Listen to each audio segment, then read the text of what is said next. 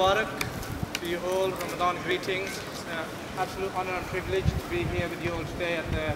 infamous, very uh, well recognized and renowned Ramadan tent at SOAS. SOAS, of course, always leading the way in uh, uh, advancement in, in many ways. So big round of applause to Omar and team uh, for doing such a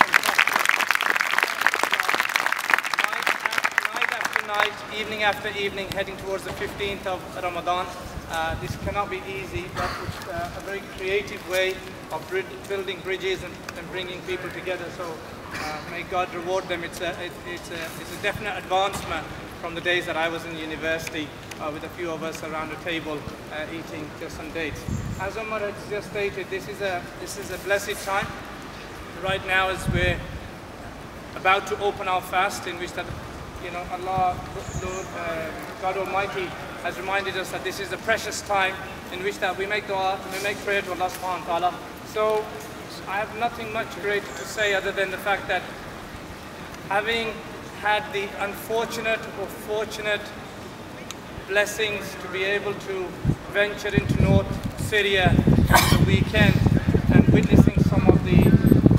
horrific uh, scenes that I've witnessed and that we have all witnessed on screens for the last two and a half years, I ask you all to have uh, all those who are in desperate situation right now, irrespective of their faith, their race, their color, or their creed. The one that I'm particularly concerned about at this moment in time are those that are completely blocked off from wider society that don't have access to the basics, food, water, shelter. I was fasting along with those people of Syria under the intense heat of 40 degrees uh, with a tent like much, much weaker than that uh, for those that have been there for almost two years in those desperate situations. So I implore upon you all and plead you, with you all to spend the last next couple of minutes in prayer, in contemplation, in reflection of those that are in uh, a less fortunate situation than ourselves, be it separated from their loved ones, be it separated from their homes, their food, uh, their water. Um, medical conditions are very weak, very, very poor, and sadly the international community has failed in coming to the assistance of all those innocent victims in Syria at this moment in time. So I ask you all and plead, plead upon you all to remind us the saying of the Prophet, peace be upon him, the best of you are those who are most beneficial to others. And as Umar and team are living that saying and that hadith, I ask us all and I ask God Almighty to have uh, enable us to live that saying of the Prophet, peace be upon him, be the best who can be of most benefit to others. And uh, I wish you happy Ramadan, happy Eid if I don't see you uh, until the days of Eid. And these blessed days and blessed nights, we raise our hands in these two or three minutes left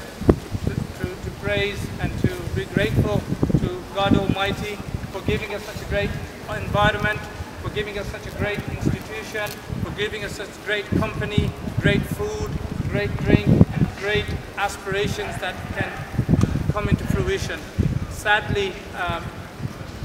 those dreams are a distant nightmare at this moment in time for people all around the world, and especially those that I visited over the weekend uh, in Syria. So let's take this moment of togetherness as an act of worship or as an act of gratitude so that uh, we are in an extremely privileged position with a cool breeze after a hot day, with water, with food, with great company, and the blessings of God Almighty. Thank you very much all, and uh, may God be with, be with you.